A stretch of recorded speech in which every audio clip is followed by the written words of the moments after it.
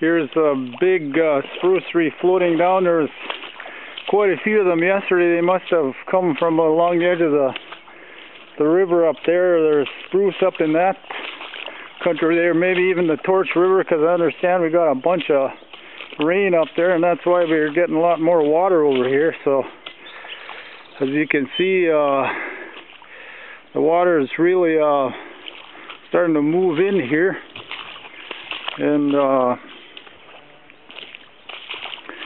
it's coming pretty good. My cabins are still dry right now, but uh, looks like maybe with the water that they forecast, uh,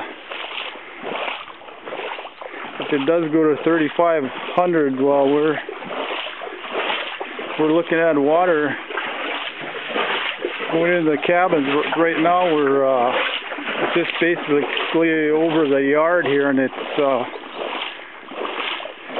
coming into the property here. You can see as I'm walking to where uh, I got to get some stuff out of this building today because it's it might, you know, go into the. We need some uh, stuff out of there uh, so I can take take with me to Cumberland House.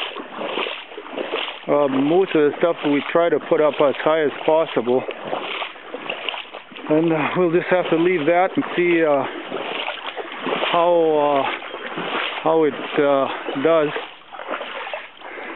There you can see as I go back this way where I had the dogs, they would have been uh, standing in water already, so very good thing I got all them, all the dogs out of here.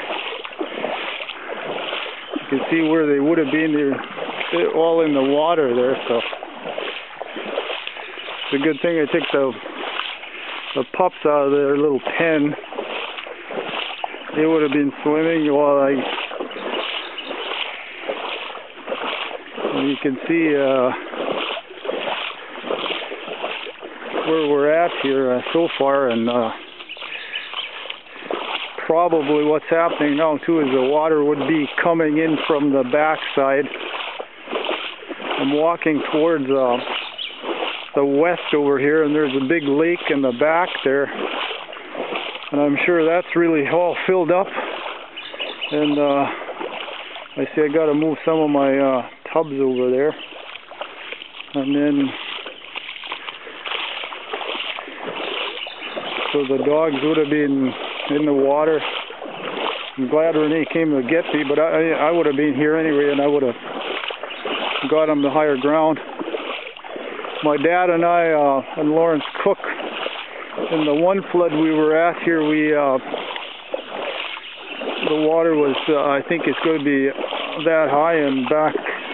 In that uh, year we uh, we went down where this water is going. This is our trail over here. We went we had to escape going that way uh, to a higher ground maybe about, oh, I'd say uh, seven kilometers over there. There's a high ridge there where uh, where we were able to go go to on, uh, and as you can see, the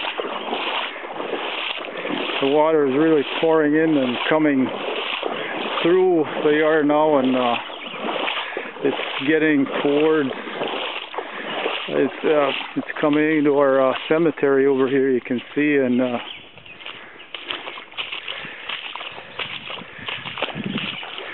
we uh, we tried to uh,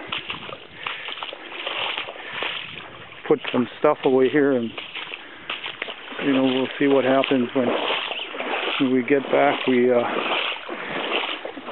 what I did here was I uh, I put antlers on top where the grave sites are. Uh, my father-in-law John's cross there we took out just because he wasn't anchored properly and and my daughter Jacqueline there her rock her uh, cross is pretty good. So we uh and then we just put the antlers in on her uh, grave there. And then my dad's rock there that that's going to stay there so and it's a little higher here.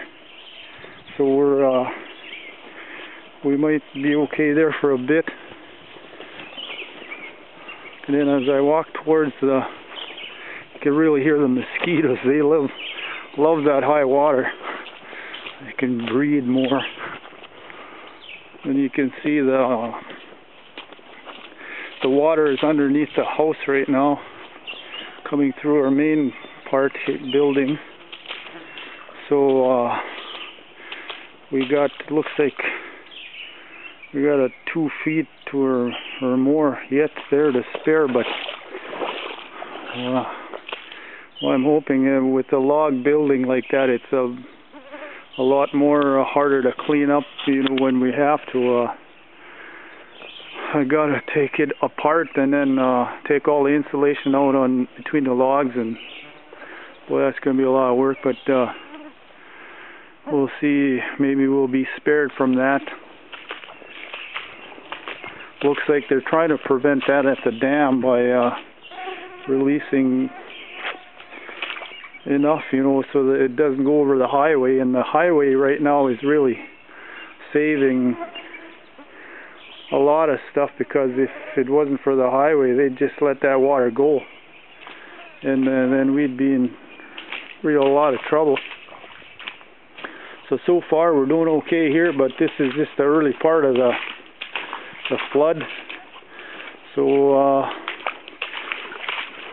I guess that's it for a little while. For a while here, I got to get some stuff out of one of our buildings here. Some some photos, you know, stuff uh, families like to keep, and so I'm going to take that to Cumberland House today, and and uh, I will see where uh, we'll end up.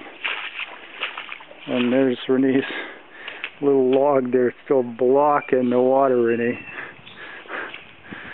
So anyway, uh,